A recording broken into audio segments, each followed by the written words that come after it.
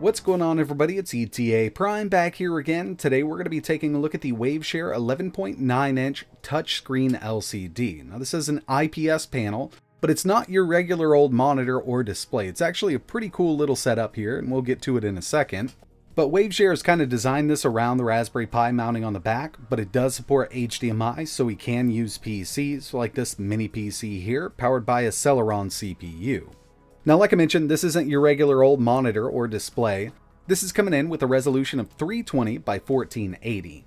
Inside of the box, we get a smaller HDMI cable, little cleaning cloth for the glass cover on the front of the panel, and our mounting hardware. So we can actually mount up the Raspberry Pi right on the back of this.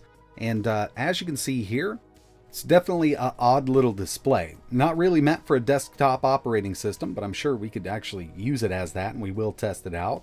But this is more of a project panel in my opinion. There's a lot of different things that we can do with this, and I got a couple projects planned, but I did want to take a look at it because I've had my eye on these for a while. I've seen them all over the internet from eBay to Amazon, and I finally bit the bullet and picked this one up. So what we have here is an 11.9 inch IPS panel. It's covered in glass and it does support touch.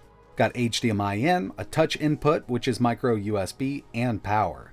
So the adapters they include here are going to be compatible with the Raspberry Pi 3 and the Raspberry Pi 4. They're basically just HDMI adapters and USB adapters for the included touch on the screen. We do need to run this over USB from the Pi to get that touch and power to the panel. So around back here we have two different mounting spots. We've got these outer posts here which will allow us to kind of mount this to let's say a wall and the inner post which actually support the Raspberry Pi 4 or the Raspberry Pi 3. So we can set this up with the Pi mounted to the back of it, and it's actually pretty compact when we plug in these adapters.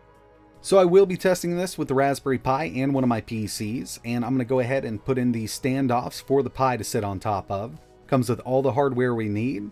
So we'll get all four of these in, and once we do that, we can actually set the Pi right on here and just mount it up. Now I would recommend plugging in the USB adapter first before you mount this on here. It does make it a little easier. It's going to plug right into one of the USB 3.0 ports on the Raspberry Pi 4. This is going to supply power to the panel and allow us to use touch. So we do have USB connection to the touch panel in here. So we'll go ahead and mount this Pi down with four screws. And once that's finished up, we're going to go ahead and plug in our HDMI adapter. So one end is full size for the panel, the other one is a micro HDMI for the Raspberry Pi 4. And once it's finished up, it looks something like this. Very compact design. We've got that Raspberry Pi 4 mounted right to the back of this thing, and everything lines right up. So obviously, first up, we're going to be testing out the Raspberry Pi 4 with this panel, and I've just installed Raspberry Pi OS to a micro SD card. I'm going to run through a couple other things after this, but let's go ahead and get this booted up. Okay, so I got this up and going with the Raspberry Pi 4, but I did run into one big issue. The included adapter, the little HDMI adapter, is non-functional. There's a bent pen inside of it. I've actually purchased a lot of stuff from Waveshare on Amazon in the past and never run into an issue, but this could present a big issue to some people. So if you do get one of these, make sure you inspect that adapter. I mean, this is a real big letdown because I had a couple little plans for this video, but unfortunately with this big cable sticking out of the top, it's not going to work out like I wanted it to. But the screen quality on this thing is actually really nice. It is a touch panel, like I mentioned at the beginning of the video. And in order to get this set up correctly with the Raspberry Pi, you can head over to Waveshare's wiki page, and all you need to do is input the new resolutions and the rotation into your config.txt. After I realized that the adapter wasn't working, everything went really smooth. But before that, you know, I did reflash it a few times because I didn't take the time to inspect that HDMI adapter that came included, so I did waste some time with this. I'm running Raspberry Pi OS right now, and this screen really isn't great for a desktop operating system. Uh, this was the first thing I wanted to install on it just to see if I could get everything up and running with the Raspberry Pi 4.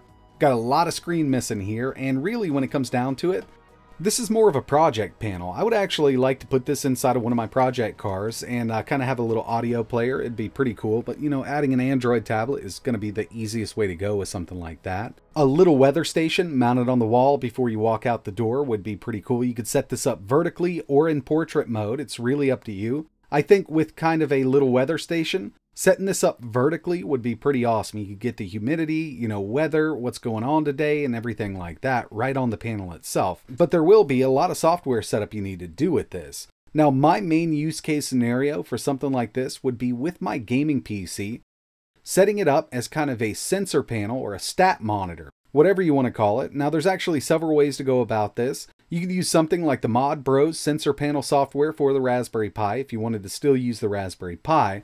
But this screen does have HDMI, and when it comes to AIDA64, it does have sensor panel support.